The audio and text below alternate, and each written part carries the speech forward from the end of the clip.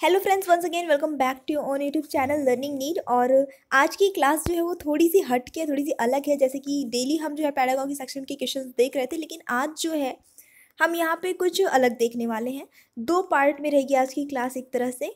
दो part in the sense कि आज ही की क्लास में हम दो काम करने वाले हैं। फ़र्स्ट चीज़ जो है वो मैं आपको कुछ क्वेश्चंस दिखाने वाली हूँ, क्योंकि इस सेशन में हमने एक भी दिन गद्यांश पद्यांश टाइप की चीज़ें सॉल्व नहीं की हैं। सॉल्व नहीं भी करेंगे, कोई ज़रूरत उतनी नहीं रहती है। लेकिन जो लोग फ़र्स्ट टाइम दे रहे हैं ये एग्ज़ाम और उनको लगता है कि बस हम इसको देख लेंगे और बहुत ईजिली बन जाएगा गद्यांश में क्या रखा है। तो मैं आज आपको दिखाने वाली हूँ, यहाँ पे गद्यांश नहीं दिखाने वाली हूँ क्योंकि उसमें बहुत टाइम आपका वेस्ट हो जाता है। सिर्फ़ क्वेश्चन दिखाने वाली हूँ कि किस टाइप के क्वेश्चन जो है वो पूछे जाते हैं, कितने जो है कंटेंट बेस्ड रहते हैं, कितने जो रहते हैं ग्रामर पोर्शन से रहते हैं।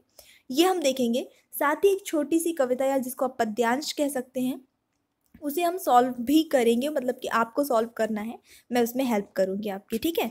तो ये दो पार्ट में आज ये चीज़ें हम देखेंगे, क्योंकि पंद्रह नंबर जो है वो इसी से रहता है तो पंद्रह नंबर कम नहीं होते हैं तीस में से। चलिए स्टार्ट करते हैं, लेकिन उसके पहले एक छोटा सा टेस्ट आपका, फटाफट से इस क्वेश्चन का आंसर बता दीजिए, पढ़ाया हुआ है सब कुछ। निम्नलिखित में से कौन सा उच्च प्राथमिक स्तर पर भाषा शिक्षण का उद्देश्य नहीं है?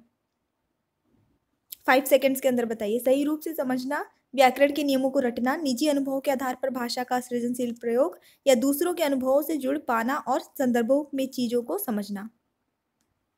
क्या बताना है जो नहीं है? सीज़न में टाइम आपको कम मिलेगा सो आपको थोड़ा सा क्विक करना पड़ेगा। सो so, यहाँ पे जो करेक्ट आंसर हो जाता है इस क्वेश्चन के लिए वो हो जाता है आपका ऑप्शन नंबर बी व्याकरण के नियमों को रटना। ये प्राथमिक स्तर पर भाषा शिक्षण का उद्देश्य नहीं है। तो चलिए बढ़ते हैं अब देख लेते हैं। तो ये एक छोटा सा गद्यांश है तो गद्यांश था आई I मीन mean, मैंने यहाँ पे इंक्लूड नहीं किया है। वो उसके क्वेश्चन जो अराइज होते हैं वो बस आपको जो लोग फ़र्स्ट टाइम दे रहे हैं उनको दिखाने के लिए है कि किस टाइप के क्वेश्चन से आ सकते हैं। तो पहली बात तो देखिए व्याकरण का आ सकता है। जैसे यहाँ पे पर्यावरण का संधि विच्छेद पूछा है तो वो पैसेज पर्यावरण के बारे में था तो पर्यावरण का संधि विच्छेद पूछा। तो ये इस टाइप के क्वेश्चन अराइज हो सकते हैं कि आपके गद्यांश में कुछ भी जो वर्ड्स आए हों उनको पिक करके उनका संधि विच्छेद या उनका विलोम शब्द इस टाइप के क्वेश्चन एक पूछे जाते हैं। फिर उसके बाद जैसे कि हम पृथ्वी की संतान है, इससे हमें हम से क्या तात्पर्य है? तो यहाँ पे सेंस निकालने का हो जाता है कि आपने उसका सेंस कितना समझा, उसका जो भाव है वो आपने कितना समझा, क्योंकि भाव से ही आप इस टाइप के क्वेश्चन के आंसर दे सकते हैं। आशय अगेन वही भाव वाले आ जाते हैं कि जैसे गद्यांश में अगर चरितार्थ करना कहीं लिखा है तो इसका उल्लेख हुआ है तो इसका आशय क्या हो सकता है? तो ये काफ़ी आसान हो जाता है, क्योंकि ये तो हमें पता ही होता है बेसिकली जो भी वर्ड्स होते हैं, यहाँ पे मुहावरे या कोई लोकोक्ति का प्रयोग ही होता है, जो कि पूछा जाता है कि इसका मतलब यहाँ पे क्या हुआ तो हमें उसके संदर्भ में मिल जाता है आंसर उसके बाद जो इस टाइप के क्वेश्चन आते हैं, वो सीधे सीधे उसके आंसर मिल जाते हैं गद्यांश में, इसमें ज़्यादा कुछ नहीं करना होता. शब्दार्थ टाइप के क्वेश्चन आ जाते हैं। फिर ये भी आपके पैसे से मिल जाएँगे। यस फिर एक ग्रामर का जैसे क्वेश्चन है, व्याकरण का जैसे क्रूर शब्द है क्या? सर्वनाम, क्रिया, विशेषण, संज्ञा। तो ये सीधा सीधा जैसे यूपी टेट में क्वेश्चन होते हैं, उस टाइप का क्वेश्चन लेकिन ये किससे पूछा गया है? गद्यांश से। गद्यांश में कहीं पे क्रूर शब्द आया है तो अभी पूछ लिया उठा के कि ये क्या है। तो इस तरह के व्याकरण से भी प्रश्न दो, कम से कम आ सकते हैं, दो तीन प्रश्न आपके बन सकते हैं व्याकरण से। बाकी व्याकरण से क्वेश्चन इसमें नहीं आते हैं। खैर ये भी आपका है। एक ये देख लीजिए। सर्वनाश से उबरा जा सके में उबरा का अर्थ। तो यानी कि कोई भी शब्द का अर्थ उठा के पूछ सकता है, जो कि आसान होता है। तो ये तो था। चलिए ठीक है गद्यांश से क्वेश्चन अब एक छोटा सा पद्यांश हम यहाँ पे सॉल्व करेंगे। क्वेश्चन आंसर के फॉर्म में देखेंगे उसको। आपको सॉल्व करना है। चलिए स्टार्ट करिए। यहाँ पे फटाफट से इन लाइन्स को अच्छे से पढ़ लीजिए। सदियों की ठंडी बुझी राख सुख बुगा उठी। मिट्टी सोने का ताज पहन इटलाती है। दो राह समय के रथ का घर घर नाच सुनो। सिंहासन खाली करो कि जनता आती है। जनता हाँ मिट्टी की अबोध मूर्तें वही जाड़े पाले की कसक सदा सहने वाली। जब अंग अंग में लगे सांप हो चूस रहे तब भी न कभी मुँह दर्द का आई I मीन mean, खोल दर्द कहने वाली। Okay okay. हमेशा मैंने बताया है जब आप कभी कोई भी ऐसे पद्यांश वगैरह सॉल्व करते हैं पहले आप एक नज़र क्वेश्चन पे डाल दीजिए यहाँ पे मैंने पूरा पढ़ के बता दिया। लेकिन पहले आपको क्या करना है? एक नज़र अपने क्वेश्चंस पे डाल देना है कि क्वेश्चंस क्या पूछ रहे हैं। और उसके बाद आपको इसको पढ़ना है, क्योंकि गद्यांश में तो सीधे सीधे स्टोरी के फॉर्म पे लिखा होता है। लेकिन जब आप पद्यांश सॉल्व करते हैं तो यहाँ तो काफ़ी आसान सी एक कविता है। कई बार टफ भी रहती है जिसमें लाइन कुछ है। ध्यान रखिएगा, कोई भी कविता हो, कोई भी श्लोक हो, पद्य हो तो यहाँ पे शब्द कुछ रहते हैं, पर उसका सेंस कुछ और निकलता है। आपको भी पता होगा ये चीज़, है ना? तो इसलिए इसका भाव समझना बहुत इंपॉर्टेंट होता है, भावार्थ समझना इंपॉर्टेंट हो जाता है। तो हम पहले एक बार क्वेश्चन देख लेंगे तो हमारा टाइम बच जाता है इससे, है ना? वेस्ट नहीं होता कि हमको ज़रूरी नहीं कि मेरे हर एक लाइन का भावार्थ समझें। हम उसी लाइन को ज़्यादा पिक करेंगे, पूरे का हालाँकि सेंस समझते हैं तो यूज़फुल ही होगा, लेकिन हम उसी लाइन को ज़्यादा फोकस करेंगे आई मीन उस लाइन पे, जहाँ से हमारा क्वेश्चन का आंसर निकल कर आएगा, ठीक है? चलिए देख लेते हैं क्वेश्चन और फटाफट से आप ही को गेस करना है आंसर उपर्युक्त पद्यांश में किस जनता की ओर संकेत दिया गया है? जिसे बोध है, जिसे सांप काटते हैं, जो खेत खलिहानों कारखानों में काम करती है या जो रथ चलाती है? फटाफट से देखिए कौन सी जनता पर फोकस किया गया है। तो यहाँ पे हमें सीधे, यहाँ पे है, सिंहासन खाली करो की जनता आती है।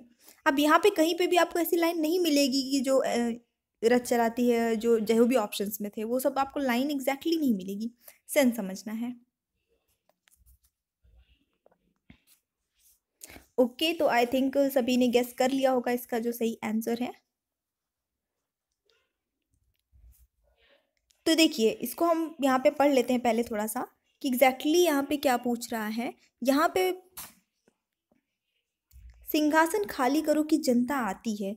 दो राह समय के रथ का घर कर नाच सुनो। मिट्टी सोने का ताज पहने लाती है ठीक है? अब यहाँ पे हमें इसका आंसर मिल जाता है कि जो खेत खलिहानों कारखानों में काम करती है ऐसी जनता। ठीक है, मिट्टी सोने का ताज पहने लाती है। यहाँ पे लिखा है मिट्टी सोने का ताज, लेकिन इसका सेंस हो जाता है जो खेत होते हैं आपके।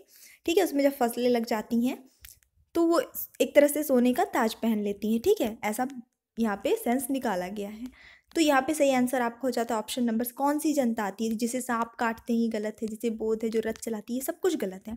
जो खेत खलिहानों कारखानों में काम करती है, वो जनता। अब देखिए नेक्स्ट क्वेश्चन इसका भी आप ही को बताना है। समय के रथ का घर घर नाद सुनो। ये पंक्ति हम ऊपर पढ़ चुके हैं, इसका आशय क्या है? अब समय बदल रहा है, समय का रथ बढ़ा आ रहा है, समय कोलाहल कर रहा है, या समय ने युद्ध नाद बजा दिया है?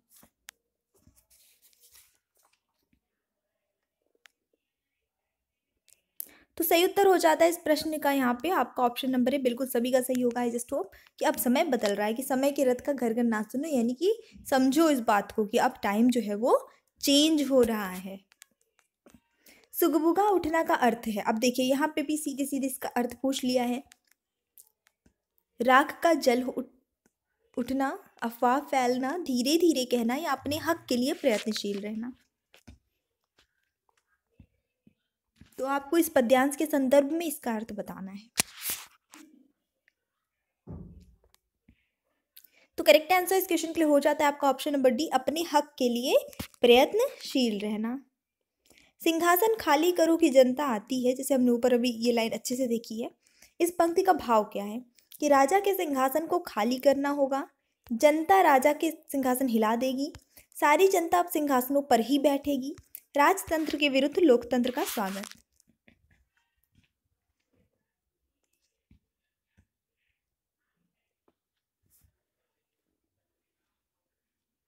तो यहाँ पे सही उत्तर हो जाता है इस प्रश्न के लिए आपका ऑप्शन नंबर डी राजतंत्र के विरुद्ध लोकतंत्र का स्वागत।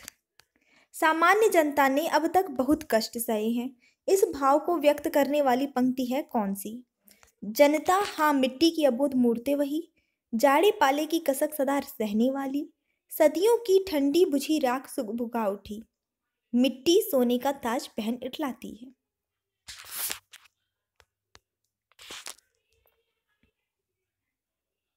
तो यहाँ पे जो सही उत्तर होता है, इस प्रश्न के लिए वो होता है आपका ऑप्शन नंबर बी की जाड़े पाले की कसक सदा सहने वाली, यानी कि जनता जो नॉर्मल होती है, उसने बहुत कष्ट सहे हैं। हमेशा जो भी प्राकृतिक प्रॉब्लम्स हो, चाहे वो आर्थिक प्रॉब्लम हो, वो नॉर्मल जनता सहती है। सांप किसकी ओर संकेत करता है? विषैले सांपों की ओर, जमींदारों की ओर, शोषकों की ओर या सूदखोरों की ओर?